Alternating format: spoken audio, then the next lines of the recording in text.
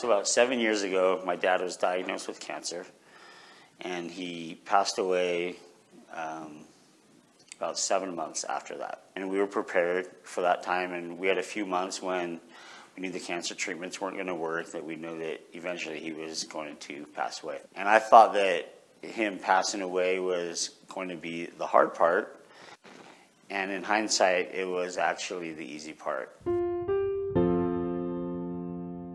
Of my youth leaders at my dad's funeral, he came. He came to me and his name was Mark and he said, James, I can't stay for the funeral, but I wanted to come and share something with you. I know that losing your dad's really hard and he shared with me when he lost his dad and the years after how it became an opportunity for him to get to know God as his uh, heavenly father. And he counseled me to do the same philosophically, I understood that advice and it made sense to me because, yeah, I, I, just lost my dad and I'm going to need someone to talk to and, and to be able to lean on in the ways that I lean on my dad.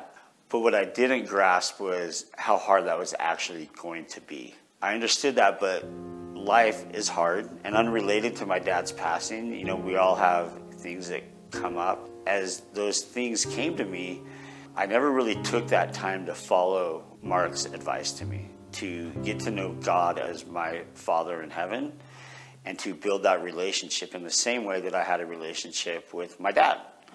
Instead of embracing God as my Father, I was resentful that I didn't have my dad around to pick up the phone and call and say, Dad, what do I do about this? Or, I've got this thing going on with one of my kids.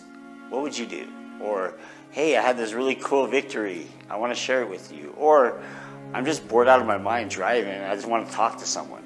And so instead of uh, taking those moments to build a relationship with God at those times, I would be resentful. And so instead of having someone else to lean on, I felt alone.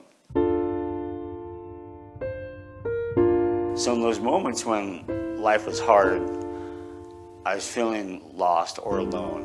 And I'd have those desires to connect with someone like my dad or wish that I had my dad. And in those moments where I was alone with my thoughts, I could hear Mark's voice saying, Reach out to your Father in heaven, build that relationship with Him. And while I knew that's what I needed to do, that's not what I wanted to do. What I really wanted was to feel at peace, was to feel connected. But our, our nurturing relationships from our parents can't be replaced. So finally, over time, I was like, you know what? I think I can find that in God. I think I, I, I think I finally just need to do that. It's not going to be the same. Like I physically don't have an audible conversation with God. It's not like I pick up their prayer line and God's like, hold on a second, you know. But like for example, this morning I was reading in the New Testament, and he talked about how God is merciful when we turn to Him, we, we see His mercies. God is not an idea to make us feel good about our beliefs. God is real, just as real as any other person in our life. And I wish that I had focused on that relationship early on in my life.